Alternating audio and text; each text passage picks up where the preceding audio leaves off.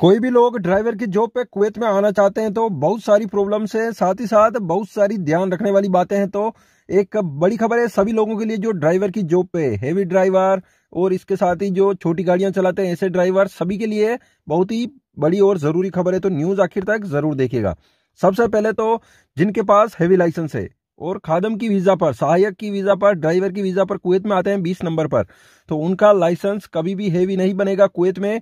उनका लाइसेंस जो छोटी गाड़ियाँ चलाने का ही रहेगा, यानी कि कार वगैरह चला सकते हैं। इससे ज़्यादा लाइसेंस हेवी लाइसेंस नहीं बनेगा कुवैत में, और उनको इसी में चलाना होगा, क्योंकि 20 नंबर वीज़ा ट्रांसफ़र नहीं होता अदर दूसरी जगह कंपनी में या दुकानों पर। इसके साथ ही ध्यान रखने की ज़रूरत यह है कि कुवैत के अंदर आते हैं, सबसे पहले तो वीज़ा निकलवाने से पहले लाइसेंस और पासपोर्ट के ऊपर यह चेक करें कि उस पासपोर्ट में नाम और लाइसेंस के ऊपर नाम सेम है या नहीं। डेट ऑफ़ बर्थ सही है या नहीं, जन्म की तारीख भी सेम मैच होनी चाहिए। इसके साथ ही जो फादर का नेम है पासपोर्ट में और लाइसेंस में एकदम सेम होना चाहिए। कोई भी स्पेलिंग मिस्टेक नहीं होनी चाहिए, नहीं तो बहुत ही ज़्यादा मुश्किलें आएगी। चाहे वीज़ा निकल जाए, लेकिन हो सके कि लाइसेंस ना बने। या फिर जिस कंट्री से आते हैं, वहाँ पर प्रॉब्लम ना हो, लेकिन कुवैत में आके ये मिस्टेक्स हो सकती हैं तो ये ध्यान रखें। जो भी लोग कुवैत में आते हैं, उनका वैलिड होना चाहिए ड्राइविंग लाइसेंस इसके साथ ही जो एक ऐप है परिवहन सेवा पोर्टल, ये मिनिस्ट्री का ऐप है तो इसमें अपलोड किया जाना चाहिए ड्राइविंग लाइसेंस।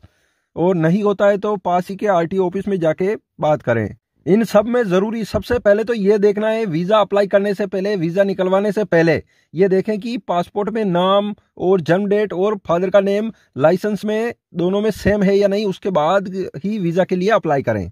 वीज़ा आ गया, उसके बाद में इधर उधर दौड़ेंगे, सही करवाने के लिए करेंगे तो वीज़ा की अगर तारीख वैलिडिटी खत्म हो जाती है तो फिर कुवैत में एंटर नहीं कर सकेंगे, फिर दोबारा से वीज़ा निकलवाना पड़ेगा। इसीलिए पहले ही चेक कर लें।